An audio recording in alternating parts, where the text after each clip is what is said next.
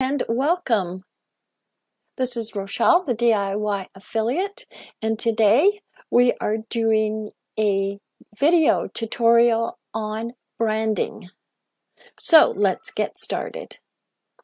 Go to the right hand corner where your avatar is, down to your channel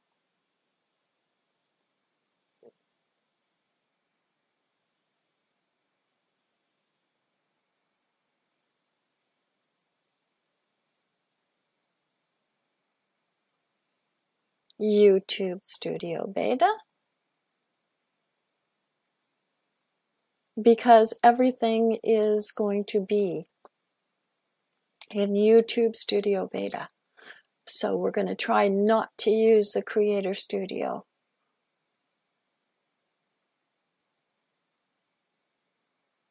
Settings on the left hand side.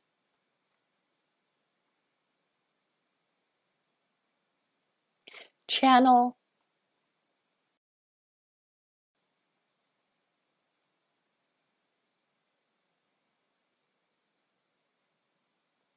branding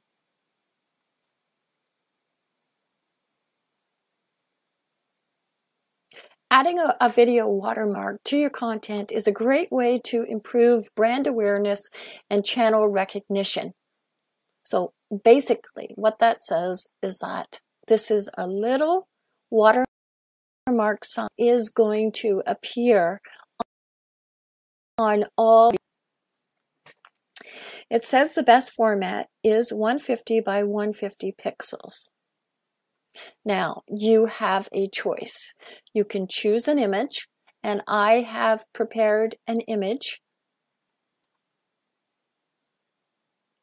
from your computer. Just go find the image and you can open it up. Now remember the format is 150 by 150 pixels. So this is what it will look like. You can decide if you want it to be at the end of your video or do you want to have a custom time. If you want a custom time, then you can then change this to say 20 seconds into your video or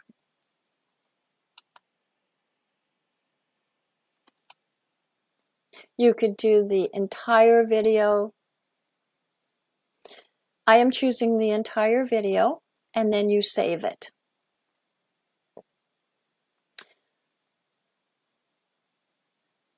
Creating a branding.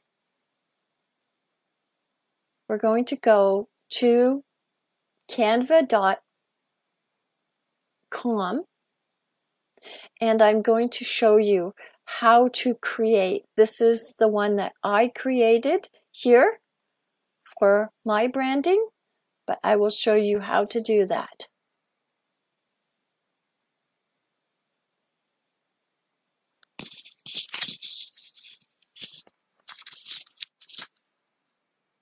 Create a design. First of all, if you don't have an account, go to canva.com. You can get a free account. Just sign up for a free account. Create your design. Create a design. Custom dimensions. Remember it said 150 by 150? 150 by 150. Create your design. Now this is just going to be a simple design.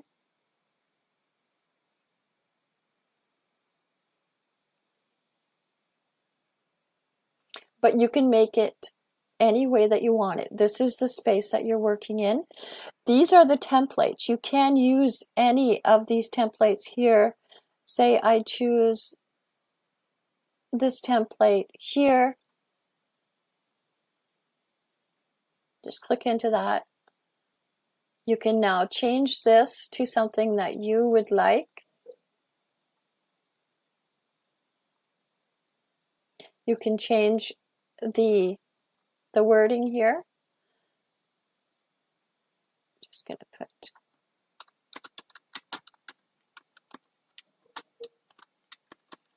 just to show you. Okay, you can also change the picture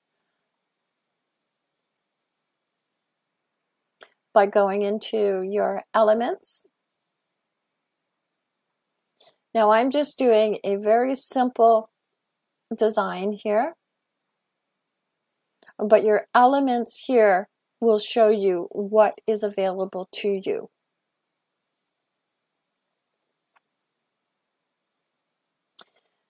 You have grids, you have charts, frames, shapes, lines, illustrations, icons. For instance, if you want to have a social icon,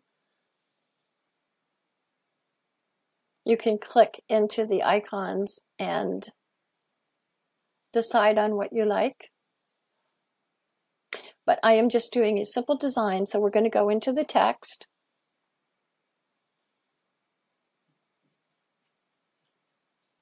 Add a subheading.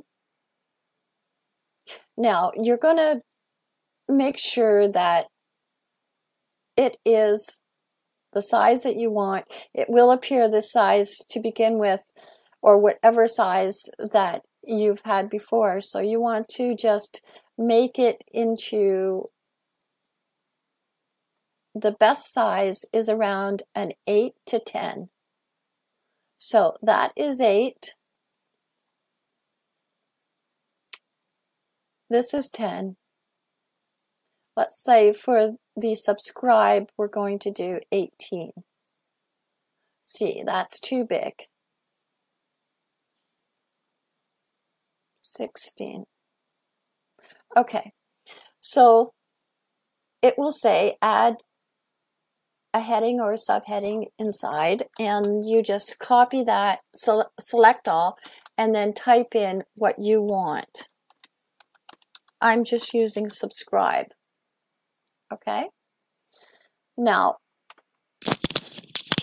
with my subscribe, I am going to use a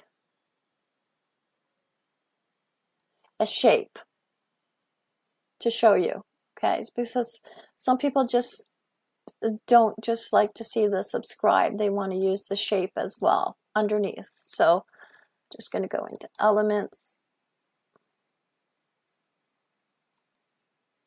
So I use this shape here, okay, and you can see that it will come up as big, but you can make it smaller. For instance, just by going like that at the corner, you can make it smaller or you can make it bigger. You can also change the color.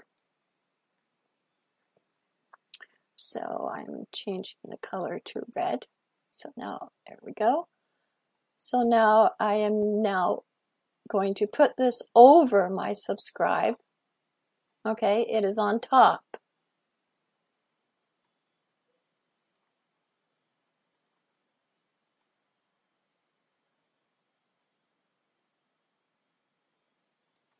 You would then click on position, backward, to the back, that will then put it behind. Now it went too far behind.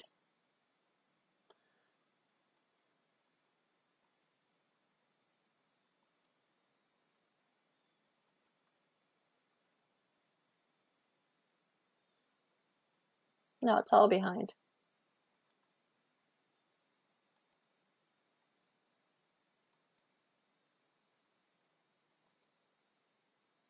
You may have to uh, play around with this a little bit in order to get it to be where you want it to go. But eventually it would it will get there. Okay, so this is this design. I want this to go to the back. There we go. There. Okay. So now we have the basics here.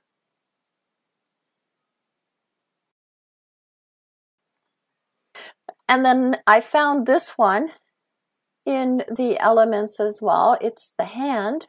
and I just click on that. Now you'll see it, it is big and then you just make it smaller.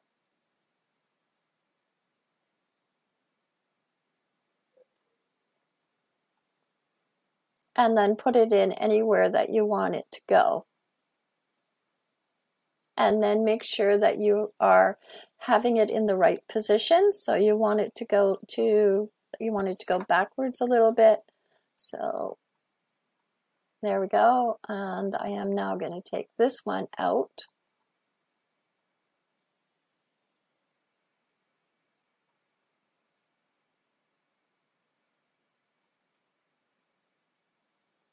Okay. So this is basically a very simple way to make your, your watermark. Once you have started an account with Canva, you can check out the different elements, the text, you have background, and plus you can upload a picture. Now say you wanted to put an uploaded picture in. Let's just find an uploaded picture that I use. It will then appear here and then I can decide what I want to do with it. Make it bigger, make it smaller. I can move it around. Put it anywhere that I want here. Okay, so I'm just going to move this over now. I actually like this one better than the one that I made. So you can fool around with this and decide on what kind of watermark that you want and what it's going to say. And remember about the positions.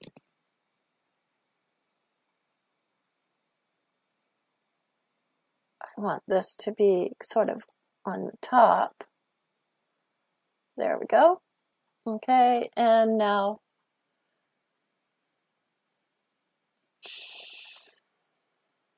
this one I am going to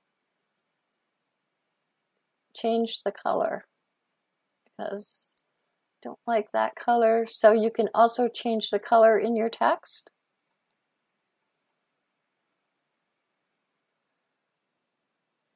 And you can also when you see the four arrows here,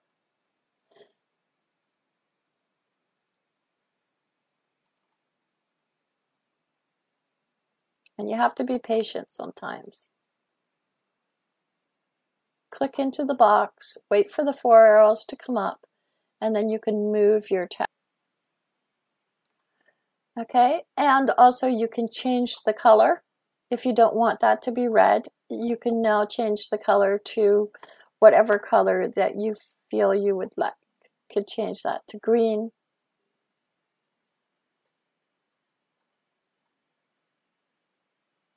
That's pretty bright, isn't it? Now you can also change the text color, of course. Say I wanted to change that to red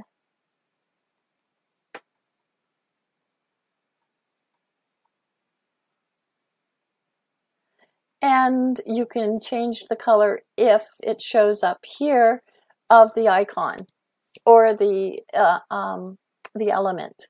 So that's gray. I'm going to change it to red.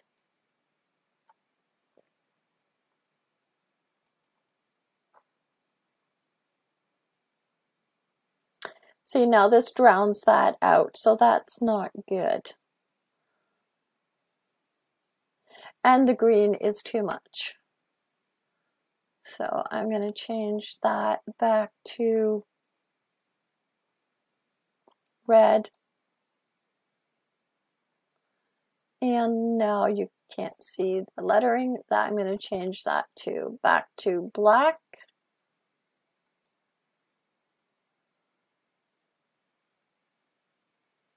And now the hand I'm going to change to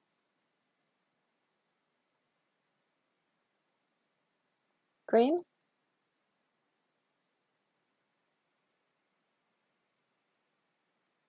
Now I'm going to change the lettering to green. You know, it all depends on what you like. You could fool around with it. It's not something that you can do quickly. You can, it all depends on how you want to do it. So now I'm just going to save this. If you click this arrow right there, you'll see PNG suggested. You'll see the size.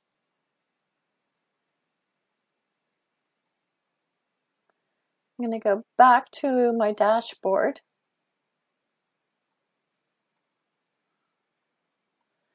To the settings, the channel, branding. This is the one that I have there. So this is it right there and open.